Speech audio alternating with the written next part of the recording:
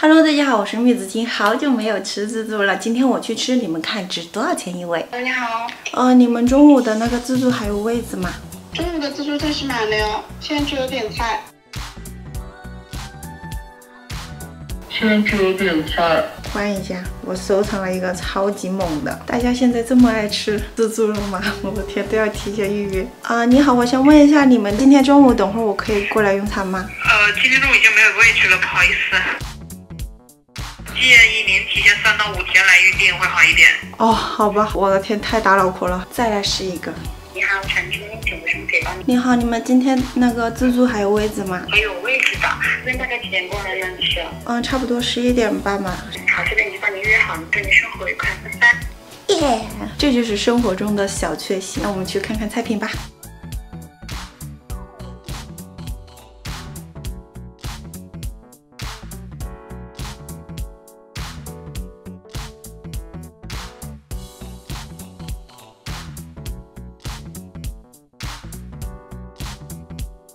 菜单一共有两页，怎么点菜吃回本呢？精选必须要什么贵按照什么点。点心二十五道，前菜七道，肠粉四道，粥四道，烧腊四道，热菜十六道，面米饭五道，甜品四道，饮品五道。完了，我看他们今天生意这么好，我的奢华点心三部曲我可能吃不到了，每天限量十份。希望不要告诉我他们的奢华点心没有了。坐了一个多小时的车，每次来南边堵都要堵半个小时。中午也有这个变脸，看见没有？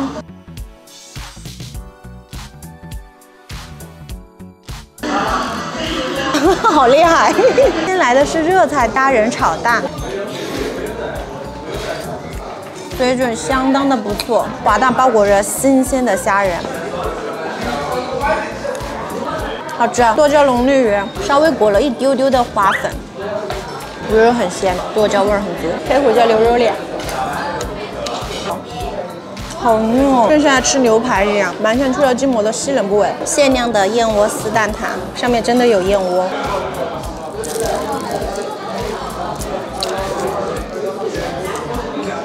我觉得它这个外壳不够酥。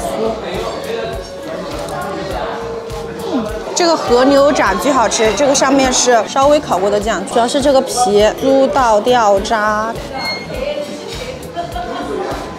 这种轻柔的口感真的绝了。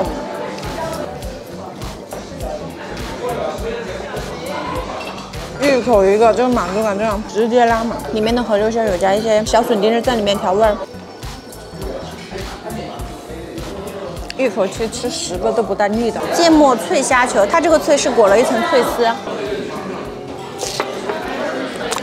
然后芥末味在里面不会很冲，更多的是沙拉味。怎么又上手了？这个可没有我想象中的硬。虾饺的皮很薄，满满的虾仁肉。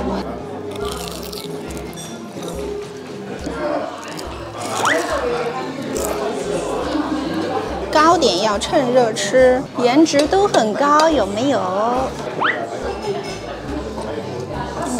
我怎么感觉有一种五仁月饼的味道？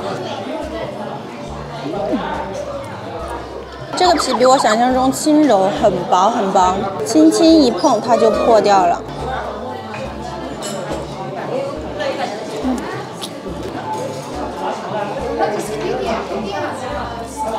期待黑松露水晶饺，好吃，里面有脆笋、香菇丁、肉末丁。黑松露真的太香了。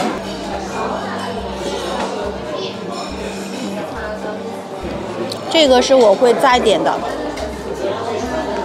嗯，这个真的好可爱，它稍微破了。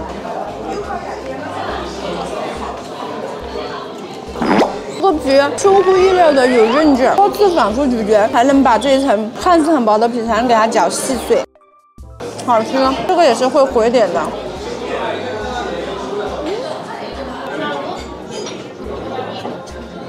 这边感觉咱们这点心味道怎么样？Very nice，非常非常好。呃，这个是我们这边的招牌叉烧，广东请来师傅而且原始传统的口感改良，好好口感会更细腻一点。谢谢谢谢。这三屉点心的颜值，我之前从来从来从来从来没有遇到过。渐变色的虾黄饺真的绝了，皮儿依旧特别薄，一整个虾肉。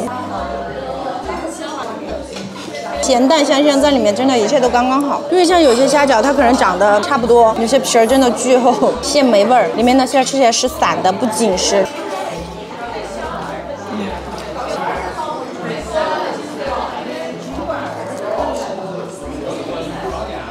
里面的猪肉占比多。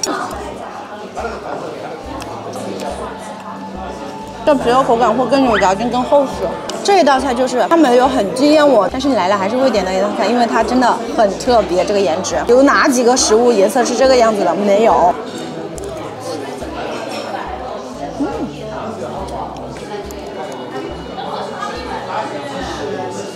这个皮就跟我刚才吃的粉果口感一样，比下方饺皮的还要嫩。这个比较偏三鲜口，马蹄、胡萝卜、玉米，里面还加了一丢丢的西芹，会更清爽一些。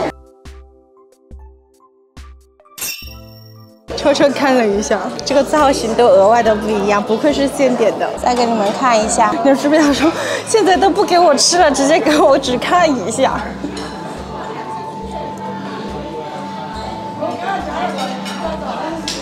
味道跟他们家虾黄饺是一样的，那个皮口感有做升级，层次更丰富。这一道菜还有一个名字，就是告诉你中国的饺子有不同的形状、不同的包法。一种很鲜的鱼肉，加一些猪肉汁在里面，很鲜美。这个烧麦的皮是包了一个叶子，然后里面鱼子酱鲍鱼。你们吃的时候建议大家按照我这个顺序吃，层次口感完全不一样。叉烧，可能是凉了，瘦肉的口感有点偏硬了，但味儿很正宗，偏甜口的，一丢丢的南乳风味。原材料也用的不错，但这种就还是要趁热吃会更好。我喜欢吃偏肥的叉烧，你们呢？玫瑰豉油鸡。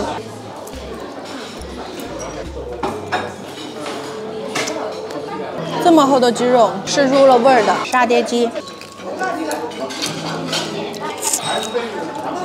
但其实沙爹味儿没有码的很重，但这个皮很脆。哦，酱在这边的，蘸点这个酱。你们一定要把这个装饰品拿开哦，然后把这个鸡肉蘸一下这个酱，味就很足了。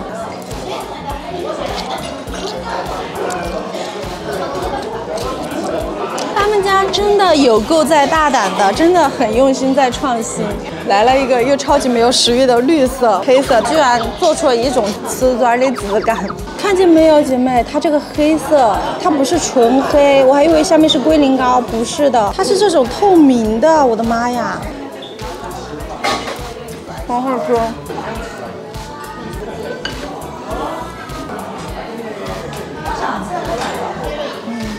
上面透明部分就能吃得到桂花的一个口感，要高一点一定要点。反正我透过光能看得到，是那种透明的。他们家吃的就全程吃下来，感觉跟艺术沾边了。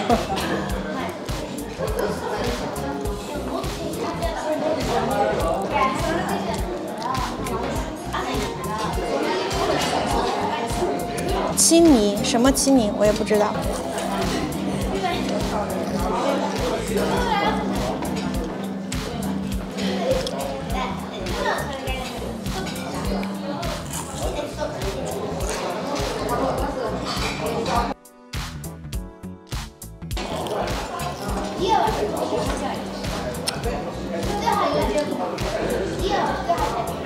我刚才以为它这个是折断的木筷子，就是饼干棒在上面，口感是很轻柔不粘牙的麻圆，然后里面是一个榴莲馅儿，就这个是皮比馅儿更优秀，软软糯糯的。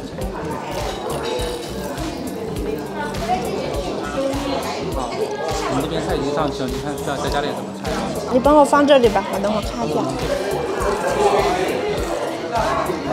我真的很想做作的说一声，不是我要求加菜的，是店员很友好的把菜单给我，让我加菜的。其 实我刚才很多喜欢吃的，我想再点的，但我想给大家看一些更多的菜。我点了一些比较家常的，可能会踩雷的，给大家试一下。如果我点的这些都没有踩雷，那真的是整本闭眼点。先下红米肠、鲍鱼鸡丝粥、杨枝甘露。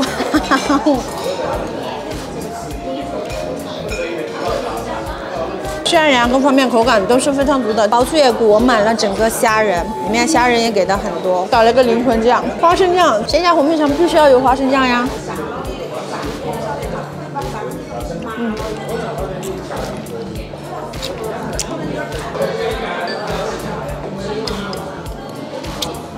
我在想，为什么成都的点心自助做的又这么好，但大部分的点心店其实做的还不如自助餐好。看到这里，你们觉得这里是多少钱一位？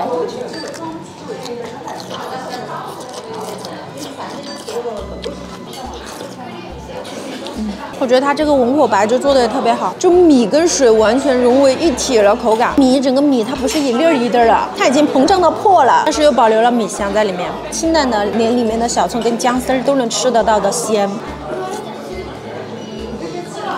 来点酱油。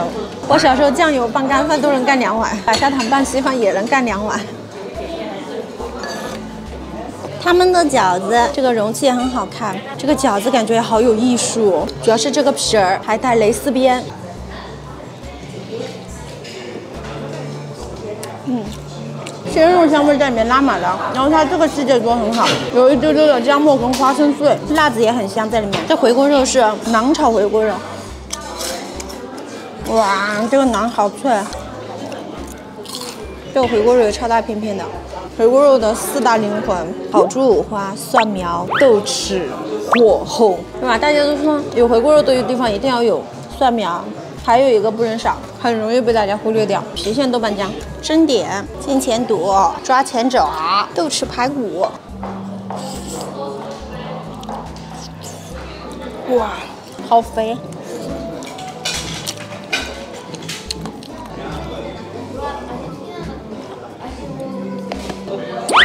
就这么一丢丢骨头，这么大的一个凤爪，哪些鸡的鸡爪才能叫凤爪？哪些鸡的鸡爪只能叫鸡爪？他们家凤爪如果有小朋友的话，就不太建议吃，有点辣。嗯，哇，我今天真的很幸运，刚才吃的那个排骨一丁点骨头都没有，纯肉。